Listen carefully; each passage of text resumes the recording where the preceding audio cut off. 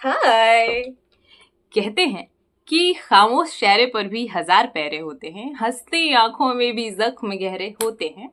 अक्सर उनसे ही रूठ जाते हैं हम, जिनसे ये रिश्ते ना बहुत ज़्यादा गहरे होते हैं। नमस्कार दोस्तों, बहुत समय बाद हम अपने ब्लॉग चैनल पर वापस आ रहे हैं, लेकिन ये जो सेटअप है वो मेन चैनल का ही है। एक छोटा सा अपडेट मैं आप सभी के साथ शेयर करना चाहती थी।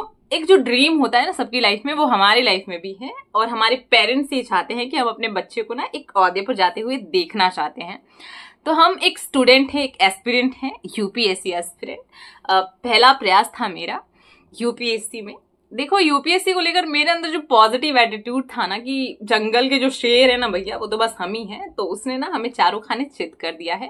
पहले प्रयास में हमसे प्रिलिम्स तक नहीं क्लियर हो पाया। हालाँकि पेपर बहुत ज़्यादा इजी था। अगर वो डेडिकेशन और वो कंटिन्यूस हम उन चीज़ों में बेहतर तरीके से होते तो आ, शायद चीज़ें अच्छी जाती। बट सी सेट को लेकर मेरा पता कट गया था क्योंकि मैथ्स हमारे अल्ले पल्ले पड़ता नहीं है और जो परिक्षेप थे मतलब जो पैराग्राफ टाइप था, जिसे हमें एनालाइज करके अपना आंसर देना था, वो मेरे लिए बहुत ज़्यादा डिफ़िकल्ट सिद्ध हुआ।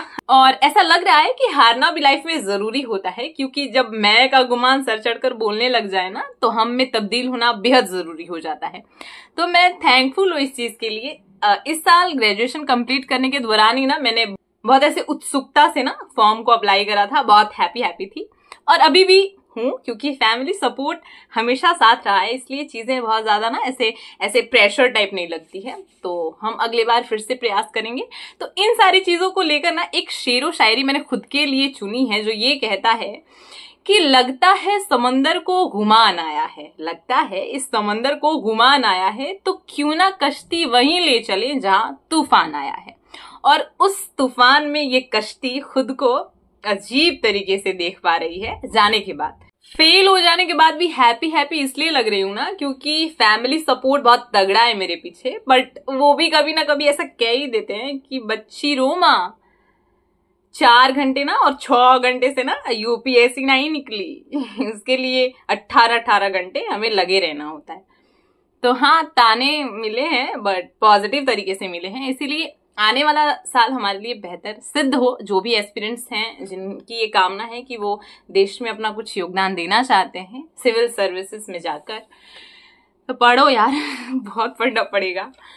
क्योंकि जाने के बाद ये पता चला है ना कि वो हलवा नहीं है। उसमें बहुत ही अजीब तरीके से पूछे जा रहे हैं। एक तो एक क्वेश्चन दिया हुआ है, ठीक है? उसके चार ऑप्शंस है। उसके बाद कूट भी दिया रहता है। ये भी होगा, ये भी होगा, ये भी होगा, ये भी होगा, ये भी होगा। और ढूंढते जाओ, ए और बी बोल रहा है तो ए और बी कह क्या रहा है? बी और सी बोल रहा है तो बी और सी क्या कह रहा है? ये सारी चीज़ें ना टाइम बहुत ले रही थी। तो टाइम मैनेज करना भी हमें आना होगा। मतलब एक ये चीज़ कि जो सर लोग कहते हैं ना कि एक कमरे में बंद हो जाने के बाद छह घंटे और आठ घंटे ऐसे डेडिकेशन के साथ उसमें लगे रहना है। वो चीज़ करना है, क्योंकि जाने के बाद ये पता लगी है कि एक्चुअली में ये सारी चीज़ें हो रही हैं और वो सारी चीज़ें ज़रूरी हैं। वो कहते हैं ना कि अंदाज़ा तभी लगाया जा सकता है जब हम उसमें उतरे और हम उतर कर उस चीज़ का अंदाज़ा बेहतर तरीके से लगा रहे हैं। और उन सभी कैंडिडेट को मेरी तरफ़ से बहुत बहुत शुभकामनाएँ, जिन्होंने छह, आठ लाख लोगों में से चौदह हज़ार समथिंग बच्चों में अपना नाम दर्ज कराया है। आगे की तैयारी बेहतर तरीके से करिए, क्योंकि प्रीलिम्स एक प्रारंभिक परीक्षा है, जिसे आपने क्रॉस किया है और ये बहुत बड़ी बात है।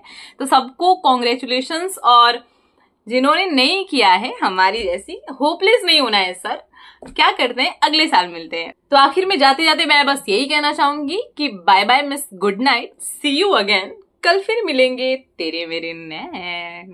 बाय